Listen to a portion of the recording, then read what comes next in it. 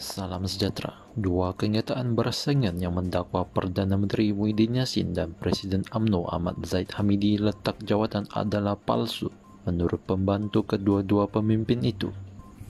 Kenyataan palsu mengenai Muhyiddin meletakkan jawatan mendakwa Perdana Menteri itu berundur selepas kerajaan gagal membentuk COVID-19. Sementara itu, kenyataan palsu mengenai peletakan jawatan Zahid dikaitkan dengan Usaha Agung AMNO Ahmad Mazlan. Surat palsu itu tidak menyatakan sebab peletakan jawatan. Pegawai Zahid menafikan dakwaan itu.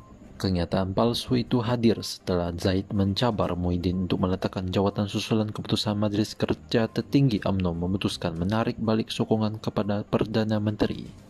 Untuk rekod, tidak jelas jumlah ahli Parlimen AMNO daripada 38 kesemuanya yang menyokong keputusan itu. Pengkritik Zaid menyifatkan Presiden AMNO itu tidak memberi gambaran sebenar keputusan MKT AMNO. Naik Presiden AMNO Ismail Sabri Yaakob yang tidak bersetuju partinya menarik diri daripada menyokong PN mendakwa sebagian besar ahli MKT AMNO juga tidak menyokong keputusan itu.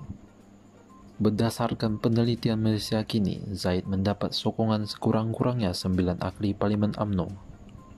Namun, dia tidak mungkin dapat mengigirkan Muhyiddin dalam waktu terdekat.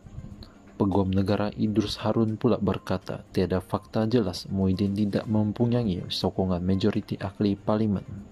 Kata Idrus, majoriti mesti diputuskan oleh setiap ahli parlimen itu sendiri dan bukannya melalui kenyataan Presiden Parti parlimen hanya akan bersidang pada 26 Julai ini.